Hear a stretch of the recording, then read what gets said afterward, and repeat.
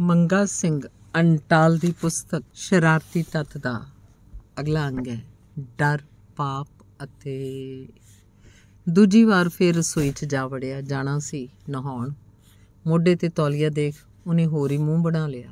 ਮੈਂ ਡਰ ਗਿਆ। ਮੈਨੂੰ ਇਹ ਸੀ ਵੀ ਉਹਨੂੰ ਸ਼ੱਕ ਹੋ ਗਿਆ। ਲੱਗਦਾ ਉਹਨੂੰ ਪਤਾ ਲੱਗ ਗਿਆ ਵੀ ਮੈਂ ਕਿਸੇ ਡਰ 'ਚ ਹਾਂ। ਖਿਆਲ ਆਇਆ, ਜਿਹੜੀ ਗੱਲ ਅਮਨ ਨੂੰ ਦੱਸਦਾ ਵੀ ਝਿਜਕ ਰਿਹਾ, ਜੇ ਅੰਮ੍ਰਿਤ ਨੂੰ ਪਤਾ ਲੱਗ ਗਈ ਤਾਂ ਗੜਬੜ ਹੋ ਜੂ। ਇਹਦੀ ਤਾਂ ਸੂਈ ਵੀ ਉੱਥੇ ਟਿਕੀ ਰਹਿੰਦੀ ਹੈ। ਕਿਤੇ ਮੈਂ ਨਸ਼ਾ ਨਾ ਕਰ ਲਿਆ ਹੋਵੇ ਜਾਂ ਮੈਂ ਕਿਸੇ ਮੈਡਮ ਦੇ ਚੱਕਰ 'ਚ ਨਾ ਫਸ ਗਿਆ ਹੋਵਾਂ। ਇੱਕ ਹੋਰ ਡਰ ਦੱਸਦੀ ਹੁੰਦੀ ਸੀ ਕਿ ਦਿਮਾਗ 'ਚੋਂ ਫੋਨ ਵਾਲੀ ਗੱਲ ਵੀ ਆ ਜਾਂਦੀ ਹੈ। ਜਿਹਦੇ ਪਿੱਛੇ ਪਰਚੀਆਂ ਪਾਈਆਂ ਸੀ ਇੱਕ ਵਾਰ ਗੁਰਦੁਆਰਾ ਸਾਹਿਬ। ਕਦੇ-ਕਦੇ ਆਖਦੀ, ਮੈਨੂੰ ਕਿਤੇ ਡਿਪਰੈਸ਼ਨ ਤਾਂ ਨਹੀਂ ਹੋ ਗਿਆ? ਮੈਂ ਇੰਨਾ ਕਿਉਂ ਸੋਚੀ ਜਾਂਦੀ ਆ ਤੂੰ ਆਵਾਜ਼ ਮਾਰੀ ਆ। ਮੈਂ ਐਵੇਂ ਝੂਠਾ ਜਿਹਾ ਕਹਿ ਕੇ ਰਸੋਈ 'ਚੋਂ ਵਾਪਸ ਆ ਗਿਆ। ਨਹਾਉਣ ਜਾ ਵੜਿਆ। ਉਹਨੇ ਆਵਾਜ਼ ਮੰਮੀ ਨੂੰ ਮਾਰੀ ਸੀ, ਪਰ ਮੈਨੂੰ ਲੱਗਿਆ ਮੰਗੇ ਕਿ ਹੈ। ਮੇਰੇ ਕੰਨ ਵੱਜਦੇ ਰਹੇ। ਅਮਨ ਨੂੰ ਕਿਵੇਂ ਦੱਸੂੰ? ਉਹਨੂੰ ਛੱਡ ਮੈਂ ਆਪਣੇ ਆਪ ਨੂੰ ਕਿਵੇਂ ਮਾਫ ਕਰੂੰ? ਜਦੋਂ ਸਾਰੇ ਐਪੀਸੋਡ ਦੁਬਾਰਾ ਯਾਦ ਕਰੂੰ, ਮੈਂ ਤਾਂ ਕਿੰਨੇ ਗਲਤ ਕੰਮ ਕੀਤੇ ਨੇ। ਜੇ ਸਾਰੇ ਸਾਹਮਣੇ ਆ ਗਏ ਤਾਂ ਅੰਮ੍ਰਿਤ ਤਾਂ ਪਾਗਲ ਹੋ ਜੂ ਬਿਰਤੀ ਕਦੇ ਕਿਤੇ ਕਦੇ ਕਿਤੇ ਆਪਣੇ ਆਪ ਨੂੰ ਸਵਾਲ ਕਰਦਾ ਕਰਦਾ ਨਹਾਉਣ ਲੱਗ ਪਿਆ।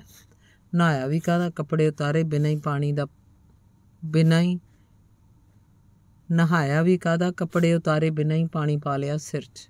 ਪੰਜ ਇਸ਼ਨਾਨਾ ਜਿਹਾ ਕਰਕੇ ਮੈਂ ਆ ਕੇ ਸੋਫੇ ਤੇ ਬੈਠ ਗਿਆ, ਫੋਨ ਫੜ ਕੇ। ਫਿਰ ਸੋਚਿਆ, ਨਹੀਂ ਨਹੀਂ, ਕਾਰ 'ਚ ਬੈਠ ਕੇ ਗੱਲ ਕਰਦਾ ਹੈ। ਉਰੇ ਇਹਨੂੰ ਨਾ ਸੁਣ ਜੇ। ਹੈਲੋ, ਅਮਨ ਦਾ ਫੋਨ ਸੀ। ਹਾਂ, ਕਿਵੇਂ ਆ? ਕਰੀਏ ਸ਼ੁਰੂ?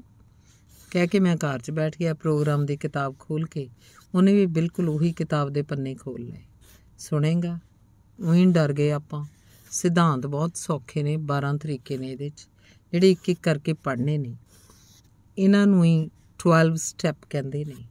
ਨਾਲੇ ਕੋਈ ਜ਼ਰੂਰੀ ਨਹੀਂ ਕਿ ਹਰੇਕ ਤੋਂ ਹੀ ਮਾਫੀ ਮੰਗਣੀ ਹੈ। ਬਸ ਜਿਹਨੂੰ ਵੀ ਤੰਗ ਕੀਤਾ ਧੀ, ਮਾੜੇ ਟਾਈਮ 'ਚ ਉਹਦਾ ਨਾਮ ਲਿਖ ਕੇ ਪਾੜ ਦਿਓ। ਅਗਲਾ ਵੀ ਦੁਖੀ ਨਾ ਹੋਵੇ, ਆਪਣਾ ਵੀ ਭਾਰ ਉਤਰ ਜੇ। ਚੱਲ ਇੱਕ ਪੈਰਾ ਤੂੰ ਪੜੇਂਗਾ ਇੱਕ ਮੈਂ। ਉਹਨੂੰ ਮਜ਼ਾਕ ਕਰਨ ਨੂੰ ਦਿਲ ਨਹੀਂ ਕੀਤਾ ਕਿ ਤੈਨੂੰ ਪੜਨਾ ਆਉਂਦਾ ਪਰ ਮਾਮਲਾ ਗੰਭੀਰ ਸੀ। ਉਹਨੇ ਭੱਜ ਕੇ ਪੈ ਜਾਣਾ ਸੀ। ਫੋਨ ਉੱਤੇ ਹੀ ਪੜਨਾ ਸੀ। ਸਾਡੇ ਦੋਵਾਂ ਕੋਲ ਇੱਕੋ ਜੀਆਂ ਕਿਤਾਬਾਂ ਸੀ, ਇੱਕੋ ਜਿਹੇ ਚੈਪਟਰ ਖੋਲੇ ਹੋਏ। ਖੈਰ, ਇੱਥੇ ਆਪਾਂ ਉਨੀ ਕੁ ਗੱਲ ਕਰਾਂਗੇ ਸਿਧਾਂਤਾਂ ਬਾਰੇ। ਜਿੰਨੀ ਕੁ ਜ਼ਰੂਰੀ ਹੈ। ਬਾਕੀ ਤਾਂ ਮਾਮਲਾ ਥਿਉਰੀ ਦਾ ਨਹੀਂ, ਇਹ ਤਾਂ ਪ੍ਰੈਕਟੀਕਲ ਦਾ ਹੈ। ਅਸੀਂ ਰੋਜ਼ਾਨਾ ਥੋੜਾ ਥੋੜਾ ਕਰਕੇ ਕੰਮ ਮੁਕਾ ਲਿਆ। ਲਗਭਗ ਮਹੀਨਾ ਲੱਗਿਆ 12 ਕਦਮਾਂ ਨੂੰ ਚੰਗੀ ਤਰ੍ਹਾਂ ਸਮਝਣ 'ਚ। ਪਰ ਡਰ ਲਿਖਣੇ, ਪਾਪ ਕਬੂਲਣੇ ਘਿਨਾਉਣੇ ਗੁਨਾਹਾਂ ਦੀਆਂ ਮੁਆਫੀਆਂ ਮੰਗਣੀਆਂ ਸੌਖਾ ਕੰਮ ਨਹੀਂ ਸੀ ਮੇਰੇ ਲਈ। ਹਰ ਜੁਰਮ ਦੀ ਪੀੜ ਦੁਬਾਰਾ ਝੱਲਣੀ ਸੀ। ਹਰ ਜਲਾਲਤ ਦੁਬਾਰਾ ਮਹਿਸੂਸ ਕਰਨੀ ਸੀ ਤਾਂ ਕਿਤੇ ਰਾਹਤ ਮਿਲਣੀ ਸੀ। ਕਈ ਜਗ੍ਹਾ ਤਾਂ ਭੂਤਕਾਲ ਭੂਤਾਂ ਤੋਂ ਵੀ ਵੱਧ ਡਰਾਉਣਾ ਸੀ। ਅਮਨ ਕਹਿੰਦਾ, ਸੁਣੇਗਾ? ਪਹਿਲਾਂ ਤਾਂ ਲਿਸਟ ਬਣਾ ਸਾਰੇ ਡਰਾਂ ਦੀ, ਕੀਤੇ ਹੋਏ ਪਾਪਾਂ ਦੀ। ਫਿਰ ਉਹਨਾਂ ਬੰਦਿਆਂ ਦੀ ਜਿਨ੍ਹਾਂ ਤੋਂ ਮਾਫੀ ਮੰਗਣੀ ਹੈ, ਜਿਨ੍ਹਾਂ ਦੀਆਂ ਚੀਜ਼ਾਂ ਚੱਕ ਵੇਚੀਆਂ ਨੇ ਨਸ਼ੇ ਵਾਸਤੇ। ਅੱਛਾ, ਉਹਨਾਂ ਦੇ ਨਾਮ ਸਭ ਤੋਂ ਪਹਿਲਾਂ ਲਿਖੀ। ਜਿਨ੍ਹਾਂ ਨਾਲ ਉਹ ਕੰਮ ਕਰੇ ਨੇ, ਜਿਹੜੇ ਜੇ ਉਹ ਤੇਰੇ ਨਾਲ ਕਰਦੇ ਤਾਂ ਤੂੰ ਮਾਰ ਹੀ ਦਿੰਦਾ। ਸਭ ਤੋਂ ਪਹਿਲਾਂ ਤਾਂ ਆਪਣੇ ਡਰ ਲਿਖ। ਡਰ ਤੇ ਮੈਂ? ਨੰਗੀ ਅੱਖ ਨਾਲ ਦੇਖਿਆ ਤਾਂ ਆਪਦਾ ਆਪ ਬਹੁਤ ਦਲੇਰ ਦਿਖਿਆ। ਡਰ, ਨਹੀਂ, ਮੈਂ ਤਾਂ ਕੀ, ਮੇਰੇ ਗਵਾਂਢੀ ਵੀ ਨਹੀਂ ਡਰਦੇ ਕਿਸੇ ਤੋਂ। ਸ਼ੇਰ ਦਾ ਮੁੰਡਾ ਬੱਬਰ ਸ਼ੇਰ ਵਾਲੀ ਫੀਲਿੰਗ ਰਹੀ ਹੈ ਮੇਰੇ 'ਚ। ਅੱਜ ਦਾ ਨਹੀਂ, ਇਹ ਬਚਪਨ ਤੋਂ ਹੀ ਸੀ। ਪਰ ਹੁਣ ਮਾਮਲਾ ਕੁਝ ਹੋਰ ਸੀ। ਹੁਣ ਮੈਂ ਇੱਕ ਸੁਧਰਦਾ ਹੋਇਆ ਅਮਲੀ ਸੀ। ਬੇਸ਼ੱਕ ਨਸ਼ਾ ਛੱਡ ਚੁੱਕਿਆ ਸੀ, ਪਰ ਬਹੁਤ ਸਾਰੀਆਂ ਆਦਤਾਂ ਅਜੇ ਵੀ ਬਰਕਰਾਰ ਸੀ, ਜਿਹੜੀਆਂ ਦੁਬਾਰਾ ਨਸ਼ਾ ਕਰਾਉਣ ਲਈ ਕਾਲੀਆਂ ਸੀ। ਅਸਲ 'ਚ ਐਡਿਕਟ ਬਹੁਤ ਡਰਪੋਕ ਹੁੰਦੇ ਨੇ। ਮੇਰਾ ਵੀ ਦਿਲ ਪਤਲਾ ਪੈ ਚੁੱਕਿਆ ਸੀ। ਜ਼ਿੰਦਗੀ ਨੂੰ ਜ਼ਿੰਦਗੀ- ਜ਼ਿੰਦਗੀ ਦੀਆਂ ਸ਼ਰਤਾਂ ਉੱਤੇ ਜਿਉਣ ਜੋਗਾ ਨਹੀਂ ਸੀ ਰਿਹਾ। ਕਿਸੇ ਨੂੰ ਕੁੱਟਣਾ, ਮਾਰਨਾ, ਲੜਾਈ, ਝਗੜਾ ਕਰਨਾ, ਕਬਜ਼ੇ ਲੈਣੇ, ਇਹ ਦਲੇਰੀ, ਇਹ ਸਭ ਕੁਝ ਨਸ਼ੇ ਤੋਂ ਪਹਿਲਾਂ ਦੀ ਗੱਲ ਸੀ। ਪਹਿਲਾਂ ਤਾਂ ਖੇਡਾਂ 'ਚ ਵੀ ਧਾਕੜ ਮੰਨਿਆ ਜਾਂਦਾ। ਹਾਰੇ ਹੋਏ ਮੈਚ ਵੀ ਜਿਤਾ ਦਿੰਦਾ ਸੀ, ਹੁਣ ਅਜਿਹਾ ਨਹੀਂ ਸੀ। ਹੁਣ ਮੈਂ ਕੀਤੇ ਹੋਏ ਪਾਪਾਂ ਨੂੰ ਕਾਗਜ਼ ਤੇ ਲਿਖਣਾ ਸੀ, ਫਿਰ ਅਮਨ ਨੂੰ ਦੱਸਣਾ ਸੀ। ਸੂਤ ਜਿਹਾ ਨਹੀਂ ਸੀ ਆ ਰਿਹਾ, ਯਾਦ ਹੀ ਨਹੀਂ ਸੀ ਆ ਰਿਹਾ, ਮੈਂ ਕਦੇ ਡਰਿਆ ਹੋਵਾਂ। ਬਾਕੀ ਕੁਝ ਗੱਲਾਂ ਮੈਂ ਯਾਦ ਕਰਨਾ ਹੀ ਨਹੀਂ ਸੀ ਚਾਹੁੰਦਾ। ਧੁੜਤੜੀ ਜੀ ਆਉਂਦੀ ਸੋਚ ਕੇ। ਪਰ ਹੁਣ ਸਿਰ ਉਖਲੀ 'ਚ ਦਿੱਤਾ ਹੋਇਆ ਸੀ, ਹੁਣ ਤਾਂ ਕਰਨਾ ਹੀ ਪੈਣਾ ਸੀ। ਮੈਂ ਪਹਿਲਾਂ ਅਣਜਾਣੇ ਡਰਾਂ ਬਾਰੇ ਸੋਚਣਾ ਸ਼ੁਰੂ ਕੀਤਾ। ਸੋਚੀ ਜਾਵਾਂ ਨਾ ਡਰਿਆ, ਉਦੋਂ ਨਾ ਡਰਿਆ ਜਦੋਂ ਪੰਗੇ ਲੈਂਦਾ ਸੀ ਬਚਪਨ 'ਚ। ਜਦੋਂ ਖੂਹ ਤੇ ਉੱਤੋਂ ਦੀ ਟੱਪਦਾ ਸੀ, ਜਮਾ ਪਾਗਲ ਹੁੰਦਾ ਸੀ। ਛੋਟਾ ਹੁੰਦਾ ਵੀ ਵੱਡੇ ਖਤਰੇ ਮੁੱਲ ਲੈਂਦਾ ਸੀ। ਜਿਉਂਦੇ ਸੱਪ ਨੂੰ ਰੱਸੀ ਵਾਂਗੂ ਚੱਕ ਲੈਂਦਾ। ਡੂੰਘੇ ਖੂਹ ਉੱਤੇ ਵੀ ਔਖੇ ਪਾਸਿਓਂ ਛਾਲ ਮਾਰ ਕੇ ਟੱਪਦਾ। ਜਿੱਧਰੋਂ ਕੋਈ ਨਹੀਂ ਸੀ ਹਿੰਮਤ ਕਰਦਾ। ਮਤਲਬ ਜਮਾ ਸ਼ੇਰ ਦਾ ਪੁੱਤ, ਬੱਬਰ ਸ਼ੇਰ ਵਾਲੀ ਫੀਲਿੰਗ ਚੌੜਾ ਹੋਇਆ ਰਹਿੰਦਾ। ਕਈ ਵਾਰ ਤਾਂ ਬਸ ਮਰਨੋਂ ਹੀ ਬਚਿਆ ਸੀ। ਨਾ ਉਦੋਂ ਡਰ ਲੱਗਿਆ, ਜਦੋਂ ਨਾਲਦਿਆਂ ਦੇ ਕੁੱਟ ਪੈਂਦੀ ਚ ਦਲੇਰੀ ਦਿਖਾਉਂਦਾ ਡਾਂਗਾ ਥੱਲੇ ਸਿਰ ਕਰ ਲੈਂਦਾ ਸੀ। ਕਿੰਨੀ ਵਾਰੀ ਪੂਰੀ ਗਹਿ ਗੱਚ ਲੜਾਈ 'ਚ ਜਾ ਵੜਿਆ ਸੀ। ਜਿਵੇਂ ਕੇਰਮ ਪੁਲਿਸ ਵਾਲੇ ਨੇ ਗੋਲੂ ਭੱਦਲ ਥੂਏ ਉੱਤੇ ਪਿਸਤੌਲ ਤਾਣ ਲਿਆ ਤਾਂ ਮੈਂ ਵਿਚਾਲੇ ਜਾ ਖੜਾ ਹੋ ਗਿਆ। ਕਹਿਣ ਤੋਂ ਭਾਵ ਡਰ ਨੇੜੇ ਤੇੜੇ ਵੀ ਨਹੀਂ ਸੀ ਹੁੰਦਾ। ਖੈਰ, ਉਦੋਂ ਤਾਂ ਨਸ਼ੇ ਵੀ ਨੇੜੇ ਨਹੀਂ ਸੀ। ਉਦੋਂ ਤਾਂ ਹੋਸ਼, ਜੋਸ਼ ਤੇ ਜ਼ੋਰ ਹੁੰਦਾ ਸੀ। ਪਰ ਮੈਂ ਨਾ ਸਮੈਕ ਖਰੀਦ ਕੇ ਲਿਆਉਂਦਾ ਡਰਿਆ, ਨਾ ਸ਼ਰਿਆਂ ਵੇਚਦਾ ਡਰਿਆ। ਹੁਣ ਕੀ ਲਿਖਾਂ? ਆਪਣੇ ਆਪ ਨੂੰ ਸਵਾਲ ਕੀਤਾ, ਪਰ ਕੋਈ ਜਵਾਬ ਨਾ ਮਿਲਿਆ। ਕੋਈ ਠੋਸ ਸਿਰਾ ਨਾ ਲੱਭਿਆ। ਅਮਨ ਭਲ ਮਾਜਰੇ ਨੂੰ ਫੋਨ ਕਰਿਆ ਤਾਂ ਕਹਿੰਦਾ, ਜਦੋਂ ਮੈਂ ਡਰ ਲਿਖੇ ਤੀ ਤਾਂ 25 30 ਲੱਭ ਗਏ ਤੀ ਤੂੰ ਆਪਣੇ ਅੰਦਰਲੇ ਅਸਲ ਮੰਗੇ ਨਾਲ ਗੱਲਾਂ ਕਰ। ਪੁੱਛ ਉਹਨੂੰ, ਨਾਲੇ ਤੂੰ ਤਾਂ ਹੁੰਦਾ ਵੀ ਬੁੱਚੜਤੀ ਪੂਰਾ ਫਰੋਲ ਆਪਣੇ ਆਪ ਨੂੰ, ਸੁਣੇਗਾ? ਅਸਲ ਗੱਲ ਹੀ ਫੇਰ ਬਣਨੀ ਹੈ। ਅਸਲ 'ਚ ਜਿੰਨੇ ਵੀ ਪਾਪ ਜਾਂ ਆਪਦੀ ਜਾਨ 'ਚ ਘੈਂਟ ਕਾਂਡ ਕਰੇ ਨੇ, ਉਹੀ ਡਰ ਦੇ ਰੂਪ 'ਚ ਆਪਣੇ ਅੰਦਰ ਘਰ ਕਰ ਲੈਂਦੇ ਨੇ। ਬਸ ਖੁਰਚਣੇ ਹੁਣ ਤੂੰ ਆਪ ਨੇ। ਖੁਰਚ। ਮੈਂ ਫੇਰ ਦੁਬਾਰਾ ਪੈਨ ਚੁੱਕਿਆ, ਐਤਕੀ ਸਵਾਰ ਕੇ ਖੋਪੜ ਖੁਰਚਿਆ। ਆਪਣੇ ਆਪ ਨਾਲ ਗੱਲਾਂ ਕੀਤੀਆਂ। ਗੱਲ ਉਸ ਗਿਲਾਨੀ ਨਾਲ ਜਾ ਜੁੜੀ ਜਿਹੜੀ ਉਦੋਂ ਹੋਈ ਸੀ, ਮਸਤੇ ਹੋਏ ਤੋਂ। ਉਹ ਬਹੁਤ ਘਟੀਆਪਨ ਸੀ, ਬਹੁਤ ਜ਼ਿਆਦਾ। ਸੋਚ ਕੇ ਕਾਲਜਾ ਹਲਕ ਨੂੰ ਆਉਂਦਾ ਹੈ। ਉਦੋਂ ਅਸੀਂ ਕਿਸੇ ਕਬਜ਼ੇ ਤੋਂ ਆ ਰਹੇ ਸੀ 10-15 ਜਣੇ। ਰਾਤ ਦਿੱਤਪੁਰ ਰੁਕਣਾ ਸੀ ਟਵਾਣੇ ਕੋਲ। ਮੂੰਹ ਨੇਰਾ ਭਾਦਸੋਂ ਤੋਂ ਪਟਿਆਲਾ ਰੋਡ। ਜਿਹੜਾ ਕੁਝ ਉਦਣ ਮੈਂ ਕਰਿਆ ਜਾਂ ਚਾਨਚੱਕ ਹੋਇਆ, ਉਹ ਪਾਪ ਤੋਂ ਵੀ ਵੱਧ ਸੀ। ਉਹ ਕਰਤੂਤ ਸੱਚੀ ਬਹੁਤ ਕਰੂਰ ਸੀ, ਗੰਦੀ ਸੀ। ਸ਼ਰਾਬ ਦੇ ਨਸ਼ੇ 'ਚ ਟੁੰਨ ਅਸੀਂ ਮੋਟਰਸਾਈਕਲਾਂ ਉੱਤੇ ਮਸਤੀਆਂ ਕਰਦੇ ਜਾ ਰਹੇ ਸੀ। ਜਿਹੜਾ ਤੁਰਿਆ ਜਾਂਦਾ, ਮਿਲਦਾ, ਉਹਦੀ ਗਿੱਚੀ 'ਚ ਥੱਪੜ ਮਾਰਦੇ। ਮੋਟਰਸਾਈਕਲ ਭਜਾ ਲੈਂਦੇ। ਜੇ ਕੋਈ ਗਾਲ ਵਗੈਰਾ ਕੱਢਦਾ ਤਾਂ ਉਹਦੇ ਉੱਤੇ ਹਮਲਾਵਰ ਬਣ ਝਪਟਦੇ। ਅਗਲੇ ਡਰ ਜਾਂਦੇ। ਇਹ ਇੰਤਿਹਾਸ ਸੀ ਬਦਮਾਸ਼ੀ ਦੀ। ਸਿਖਰ ਸੀ ਹੋਛੇਪਣ ਦਾ। ਪਰ ਜੋ ਉਸ ਤੋਂ ਬਾਅਦ ਮੈਂ ਕੀਤਾ, ਉਹ ਇਸ ਤੋਂ ਵੀ ਅੱਗੇ ਸੀ। ਪਾਪ ਸੀ, ਮਹਾਪਾਪ। ਮਸਤੇ ਹੋਏ ਨੇ ਮੈਂ ਇੱਕ ਔਰਤ ਦੀ ਪਿੱਠ ਤੇ ਹੱਥ ਮਾਰਿਆ। ਇਹ ਮੇਰਾ ਸੁਭਾਅ ਨਹੀਂ ਸੀ। ਪਰ ਮੰਨਦਾ ਮੈਂ ਉਹ ਕੀਤਾ, ਉਹ ਘਿਨਾਉਣਾ ਪਾਪ ਮੇਰੇ ਹੱਥੋਂ ਹੋਇਆ। ਉਸ ਔਰਤ ਨੇ ਕੂਕ ਮਾਰੀ। ਜਦੋਂ ਉਹਨੇ ਪਿੱਛੇ ਨੂੰ ਮੂੰਹ ਘੁਮਾਇਆ ਤਾਂ ਅੱਧਾ ਕ ਹੱਥ ਉਹਦੇ ਢਿੱਡ ਤੇ ਵੱਜਾ। ਵੱਜਾ ਵੀ ਬਹੁਤ ਜ਼ੋਰ ਨਾਲ। ਅਸੀਂ ਕੂਕਾ ਮਾਰਦੇ ਰੌਲਾ ਪਾਉਂਦੇ ਜਾ ਰਹੇ ਸੀ।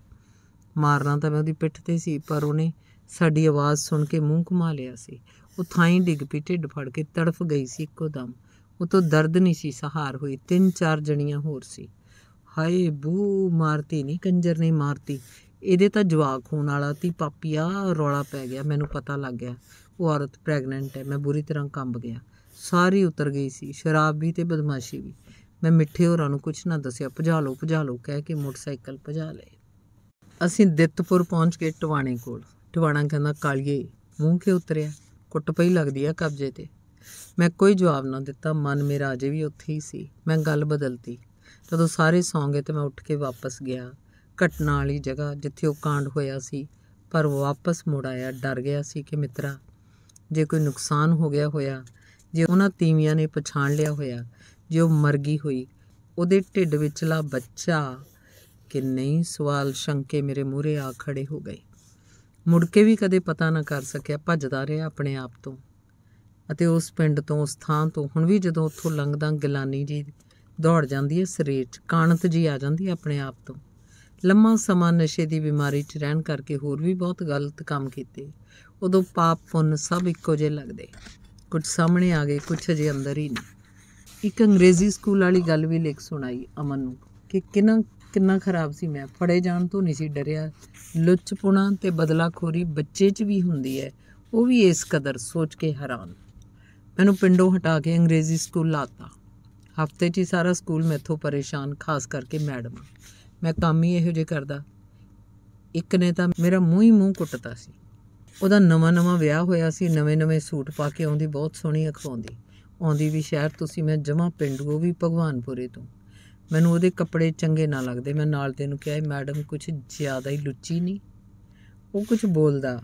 ਮੈਂ ਅਗਲੀ ਬਕਵਾਸ ਕਰਤੀ। ਮੈਂ ਕਿਹਾ, ਸੂਟ ਦੇਖ, ਗਲਾ ਦੇਖ, ਕਿੰਨਾ ਖੁੱਲਾ ਪਾਉਂਦੀ ਹੈ ਸਾਰਾ ਕੁਝ ਦੇਖਦਾ ਹੈ ਬੇਸ਼ਰਮ।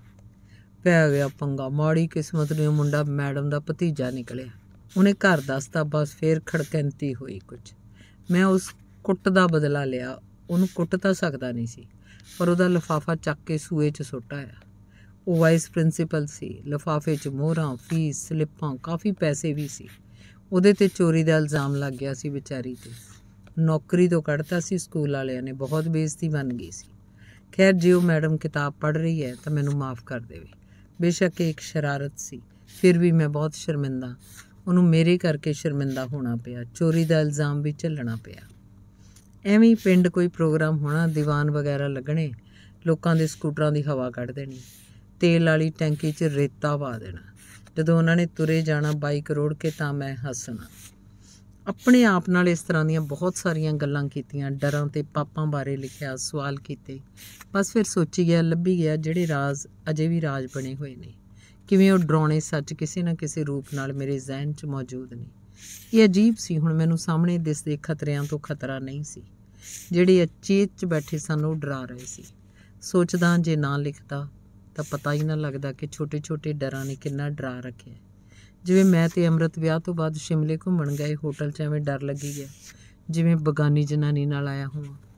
ਕਿਤੇ ਫਾਸੀ ਨਾ ਜਾਵਾਂ, ਵੇਟਰ ਦਰਵਾਜ਼ਾ ਖੜਕਾਉਂਦਾ, ਧੜਕਣ ਤੇਜ਼ ਹੋ ਜਾਂਦੀ। ਇਸੇ ਤਰ੍ਹਾਂ ਨਹਾਉਣ ਸਮੇਂ ਸਾਬਣ ਮਲਿਆ ਹੋਇਆ ਹੋਣਾ। ਇੱਕਦਮ ਖਿਆਲ ਆਉਣਾ, ਕਿਤੇ ਕੁੰਡੀ ਤਾਂ ਨਹੀਂ ਖੁੱਲੀ ਰਹਿ ਗਈ।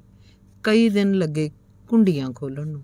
ਛੋਟੇ ਵੱਡੇ ਕੁੱਲ ਮਿਲਾ ਕੇ 50 ਪਾਪ ਤੇ 50 60 ਡਰ ਸੀ, ਜਿਨ੍ਹਾਂ ਦੀ ਮੈਨੂੰ ਪਛਾਣ ਹੋਈ। ਕਮਾਲ ਇਹ ਹੋਈ ਕਿ ਇਨਵੈਂਟਰੀ ਲਿਖਦੇ ਲਿਖਦੇ ਨਾ ਬੇਹੱਦ ਘਟੀਆ ਗਿਲਟਾਂ ਤੋਂ ਮੁਕਤ ਹੋ ਗਿਆ। ਜਿਵੇਂ ਦੀਵਾਲੀ ਨੂੰ ਘਰ ਦੀ ਸਫ਼ਾਈ ਹੁੰਦੀ ਹੈ ਉਵੇਂ ਮੇਰੀ ਆਤਮਾ ਦੀ ਸਫ਼ਾਈ ਹੋਈ। ਜਿਹੜੇ ਕੁਝ ਹੋਰ ਗਲਤ ਕੰਮ ਜਾਂ ਗੁਨਾਹ ਅਮਨ ਕੋਲ ਵੀ ਕਬੂਲ ਨਾ ਹੋਏ ਉਹ ਆਪ ਹੀ ਲਿਖ ਕੇ ਪਾੜਤੇ ਉਹਨਾਂ ਤੋਂ ਵੀ ਕਾਫੀ ਹੱਦ ਤੱਕ ਮੁਕਤ ਹੋ ਗਿਆ। ਕਿਤਾਬ ਦੀ ਮਰਿਆਦਾ ਤੇ ਸੰਬੰਧਿਤ ਇਨਸਾਨਾਂ ਦੀ ਇੱਜ਼ਤ ਦਾ ਖਿਆਲ ਰੱਖਦਾ ਹੋਇਆ ਮੈਂ ਉਹਨਾਂ ਦਾ ਨਾਮ ਨਹੀਂ ਲਿਖ ਸਕਦਾ, ਜਿਨ੍ਹਾਂ ਦੇ ਨਾਮ ਲਿਖ ਮਾਫੀਆਂ ਮੰਗੀਆਂ। ਵੈਸੇ ਵੀ ਮੈਨੂੰ ਕੋਈ ਹੱਕ ਨਹੀਂ ਹੈ ਕਿਸੇ ਦੀ ਇੱਜ਼ਤ ਉਛਾਲਣ ਦਾ।